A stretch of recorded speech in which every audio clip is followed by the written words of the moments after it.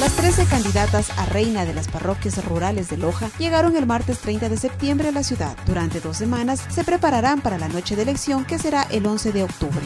Este concurso de belleza lo hacemos con esta apertura intelectual, con esta apertura pluricultural, donde lo diverso es lo que apreciamos, lo que valoramos. Además, este concurso lo hacemos para organizar mejor los barrios y las parroquias. Ustedes con su belleza van a ser catalizadores, promotores. Yo un rato decía a mi mujer, ¿por qué en lugar de elegir reina no elegimos promotora? En el Hotel Cuobadis fueron recibidas cada una de las participantes. Allí estarán hospedadas ya que es auspiciante del evento. Las candidatas recibirán preparación intelectual, asesoría de imagen, pasarela y visitarán a los medios de comunicación y auspiciantes. Día 11 de octubre en el Coliseo de Malacatos.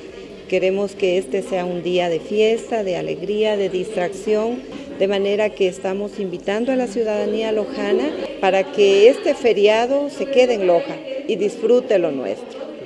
El 11 de octubre será la elección de la reina de las parroquias en el Coliseo de Malacatos. Existe una agenda para ese día que contempla una feria en la que todas las parroquias exhibirán su producción. Por la tarde, festival de danzas y en la noche, el acto galante. Creo que va a ser una experiencia que, como yo les comentaba a ellas, llena de mucho aprendizaje. Definitivamente, no importa al fin y al cabo quién vaya a tener la corona ni nada de esto, eh, la experiencia que ellas ya están ganando creo que ya les va a ayudar muchísimo en su crecimiento personal.